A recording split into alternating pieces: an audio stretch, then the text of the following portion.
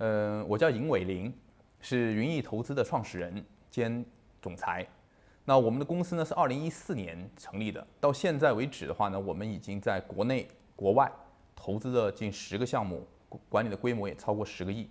这一次的话呢，也是我们云翼投资作为整个这一次这个投资的呃牵头人和整个的项目的协调人。其实的话呢，在体育行业里面，我们在做选择的过程之中呢，我们应该是。就是看了很多的标的，投资标的锁定在西布朗。我觉得最吸引我们的是什么呢？是西布朗，它是一支一八七八年就成立的一支一支球队。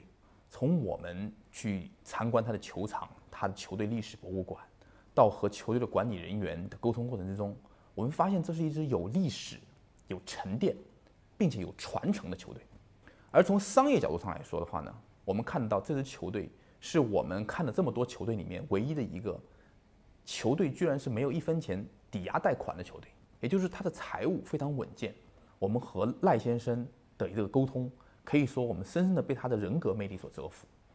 他是一个对于足球不仅仅是理解，并且他是非常有情怀，非常愿意去把自己的人生或者把自己的这种兴趣爱好去投入到这样足球事业里面的这样一个人。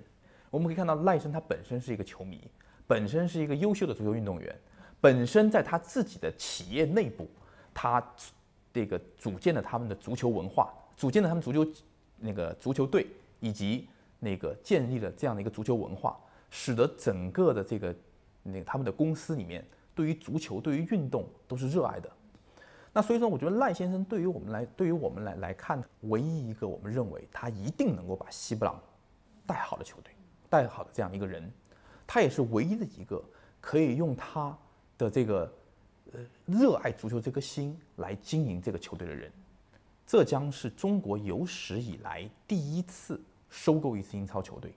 我们一定要把这个优秀的球队，这个有历史传承的球队，交到一个靠谱的人手上。另外一个选择西布朗的很主要的原因呢，是西布朗自己的足球培训学校。是全英国最顶尖的足球培训学校，我相信呢，这个足球培训学校不仅仅可以传承西布朗他自身的足球传统，